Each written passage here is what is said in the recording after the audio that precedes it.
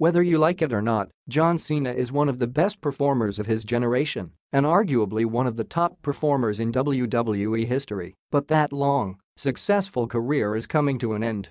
Before it does, he still has plenty of mouth-watering feuds to enjoy. The WWE have not had a successful star like Cena since he turned to the part-time schedule to pursue avenues in Hollywood, but he has been doing a great job of putting over the younger talent and giving them every chance to succeed.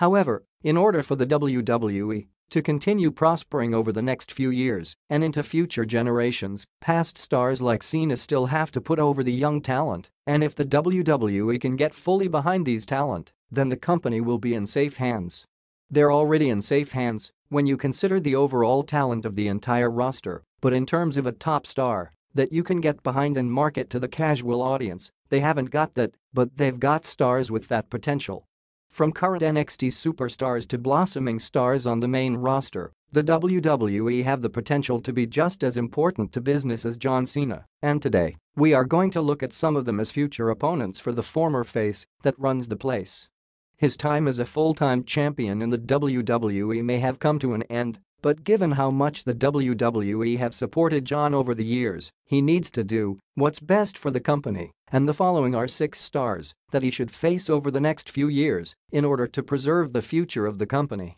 As always, let us know all your thoughts and ideas in the comment section below.